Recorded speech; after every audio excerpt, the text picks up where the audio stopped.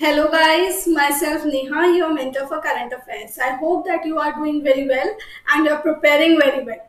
So in today's video, I have a lot of lot of important news and I hope that you will watch this video till the end in order to gather some fruitful information. So do not miss out on the important information by leaving the video in middle.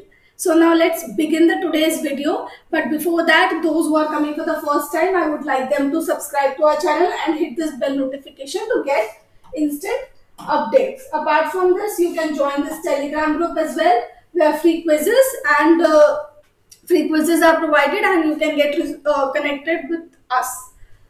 So here we are have arrived on our first question. So the first question is, who has authored Bye Bye Corona?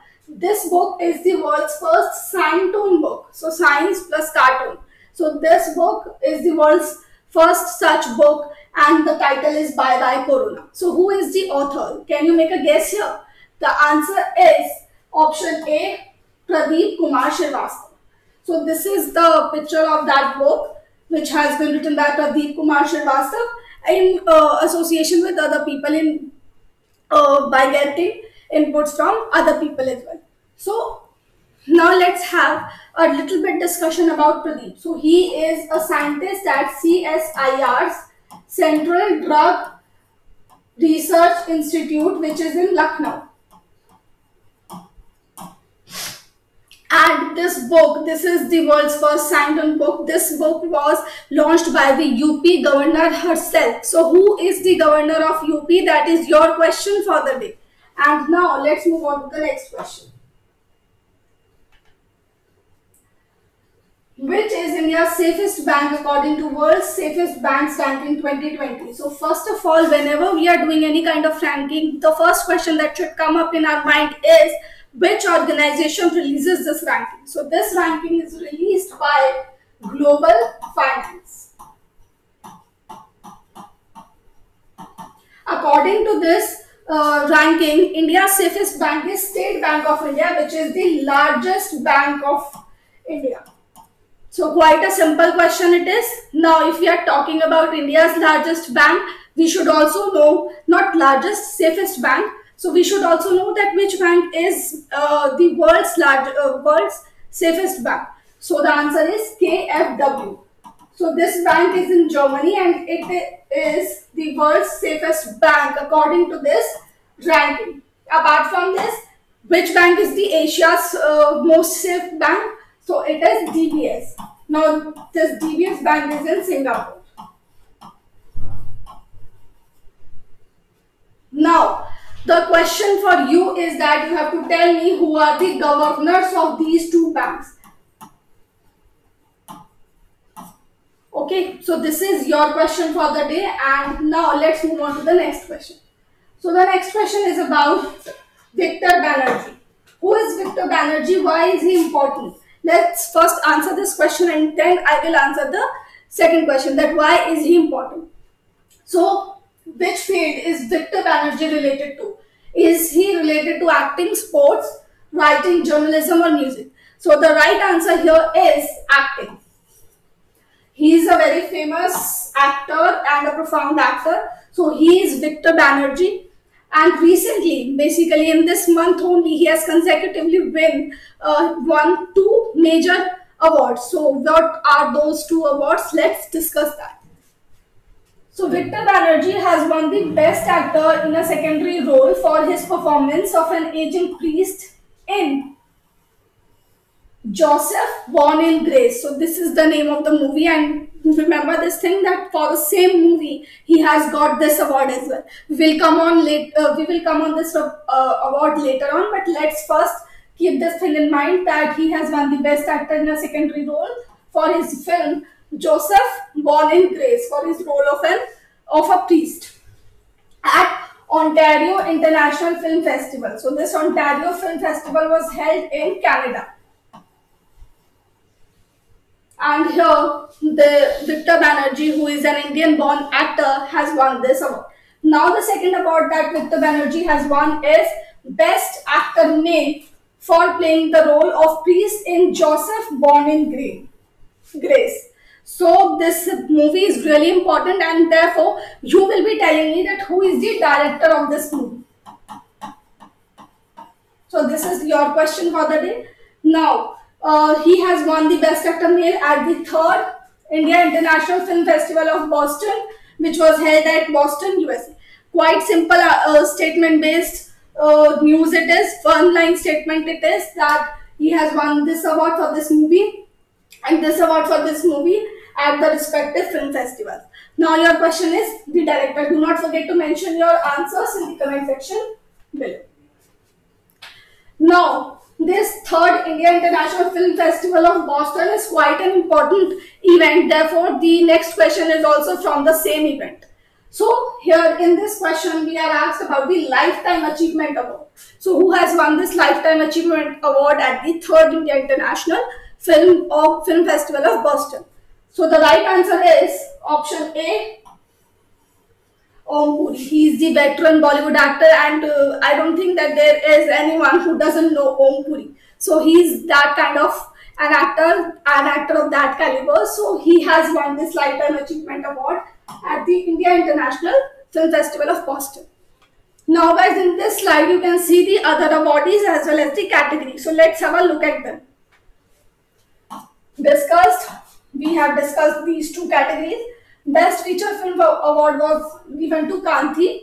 It is a Malayalam film. Best Actor Female goes to Shail Jambu for Kanthi. Pride of India. This is uh, an important award. So this Pride of India award goes to Vikas Khanna. Now this award is not a part of the Film Festival Award. This was announced um, specially and therefore this award is important that Pride of India goes to Vikas Khanna, who is a very famous Indian chef. Next question. So, India's first seaplane service will be between which two rivers? Guys, do pay attention to this. This is very important. India's first seaplane service. So, at the uh, Statue of Unity, which is in Kevadia, Gujarat, Kevadia town, Narmada district, in Gujarat.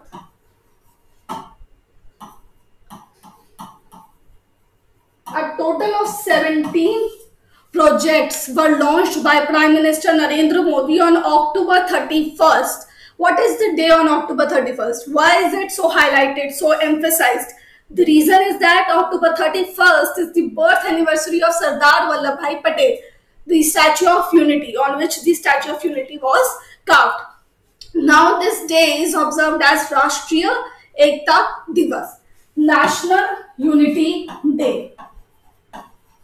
And in order to celebrate the 145th anniversary of Sardar Vallabhbhai Patel in 2020, PM Narendra Modi launched 17 projects in Gujarat in order to make the Statue of Unity a more attractive tourist destination. So these projects in uh, uh, these projects aim to attract tourism at state uh, statue of unity. So this is one among those 17 projects now let's discuss that between which two rivers uh, will it be uh, launched? So it will be launched between kevadia. Kevadia is not a river. Kevadia is the river front is the place is the town. So from sabarmati river front to the kevadia to the statue of unity this first ever seaplane service will be provided now, as I have told you that there were other projects as well. So, let's have a look at the other, projects. So, guys, here you can see the other projects that were launched. Now, a total number of 17 projects were launched. But here, I have only picked up the important ones. So, do pay attention to these pictures or to the things that I am going to tell you here.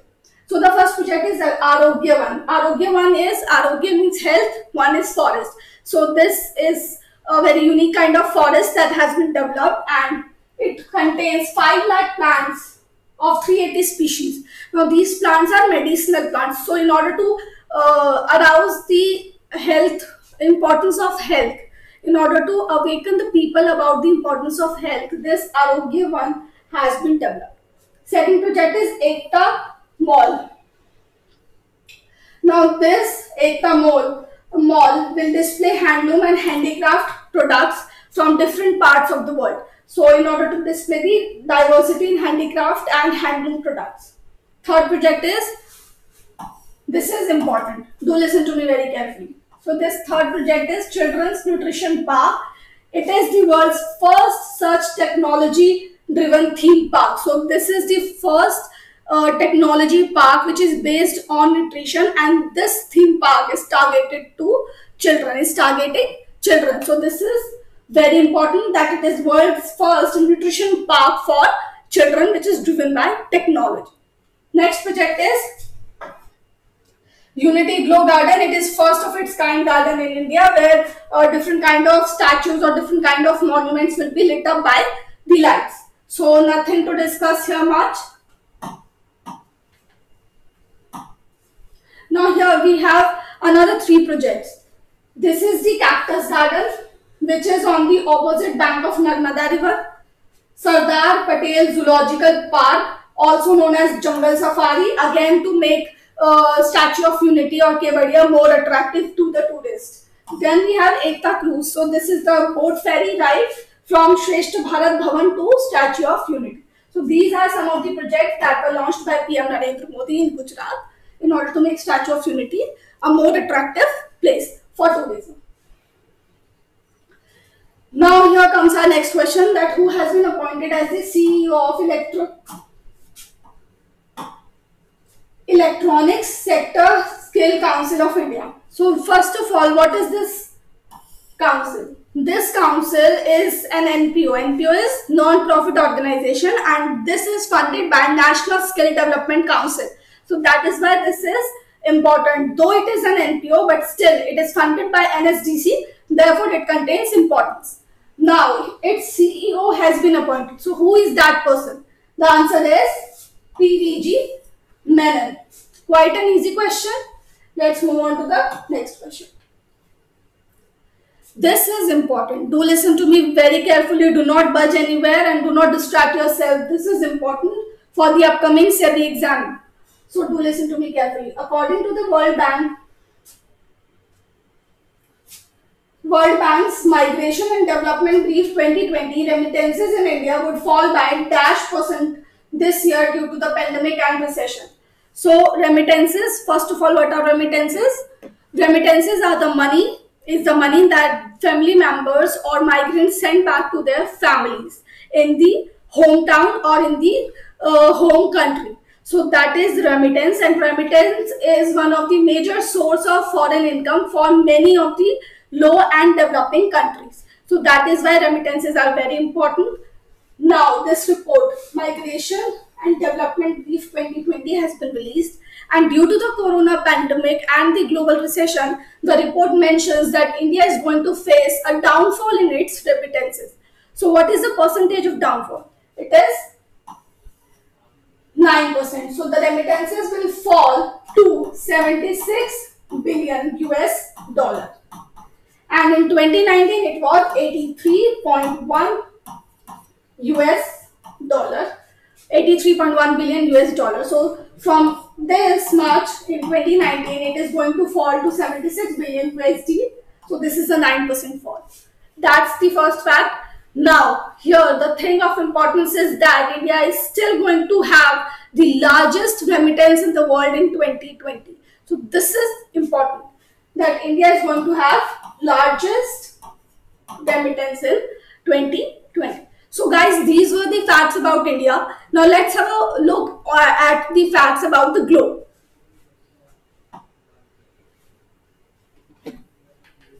So here, four points are mentioned in which the summary, you can say, uh, the summary of the report is this. So first point is globally the remittances are projected to decline by 14% by 2021 compared to the pre-COVID-19 levels 2019. So this is the 14% fall that the world is going to see in its remittances in 2021. Quite an important number can be asked the exam. Remittance flows to low, low and middle income countries will fall by 7% to 508 billion in 2020 and by 7.5% to 470 million in 2021. So these are plain facts you have to remember these things but the mechanism behind this is that due to the uh, corona pandemic and global recession remittances are going to be low because many people have left their job and are in the process of reverse migration so therefore they are leaving their jobs in the foreign countries and they are coming back to their home countries and that is why remittances will fall third point is Steepest fall will be in Europe and Central Asia in terms of remittance. 16% will be in Europe, 8% will be in Central Asia in 2020. No, not 16% in Europe and 8% in Central Asia. It's uh, steepest fall in Europe and Central Asia, 16% in 2020 in both the regions and 8% in 2021 again in both the regions. So that is the fall that you have to remember because it is the steepest fall. So this region is going to have uh, the steepest fall in its remittances. Now what is the fall in South Asia? The reason behind mentioning South Asia specifically is not that it has witnessed the lowest remittance fall. The reason is that India is located in South Asia and that is why this point is here. So South Asia is going to witness 4% fall in its remittances to 135 billion in 2020 and out of these 135 billion, 76 billion will be received by India alone. So an 11% fall will be in 2021. What is the last point? India, which has received some, which is going to receive 76 billion remittance in 2020, followed by China, Mexico, Philippines, and Egypt are the top five countries which are which will receive the highest remittances. So these are the four facts which are very important which summarize the whole report. So you can remember these points from this slide. Now it's time for us to move to the next question. So which state has performed the best in terms of improving the ease of doing business as per doing business in India report of UK India Business Council.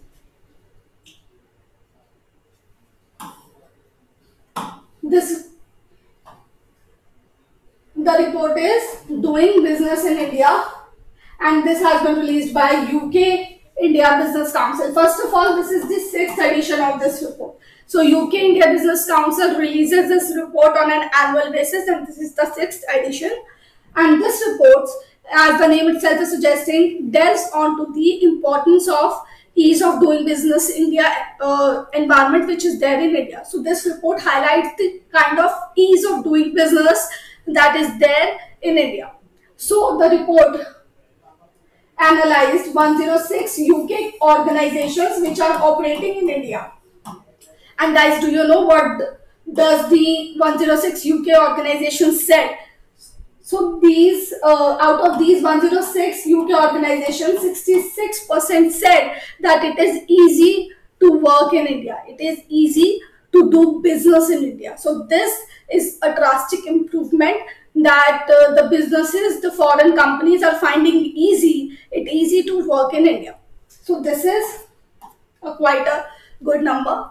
So you have to remember this thing that 66% of the businesses of the respondents out of these 106 UK companies companies have said that India has improved very well and it is easy to work in India. Now apart from this, which state has performed the uh, best? So it is Maharashtra followed by Karnataka at second position. Quite a simple question. Now, guys, you also need to know this thing that what is the score of India in terms of ease of doing business in this report. So, in 2020, the score is 2.92, which has been improved from 2.74 in 2019. So, these are two numbers.